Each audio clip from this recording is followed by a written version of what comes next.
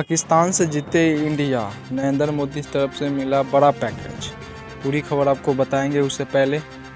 आप मेरे चैनल पर नए हैं तो चैनल को सब्सक्राइब कर दें। हाल ही में टी ट्वेंटी वर्ल्ड कप खेला गया था पाकिस्तान और इंडिया एक, जिसमें पाकिस्तान बुरी तरह से हार गया था और इंडिया जीत गए थे। इसी एक कारण प्रधानमंत्री नरेंद्र मोदी जी, वो विराट कोहली को मिल के बहुत ही बड़ा पैकेज मिला था। और उनसे मिल के बहुत ही खुशी हुआ था विराट कोहली को।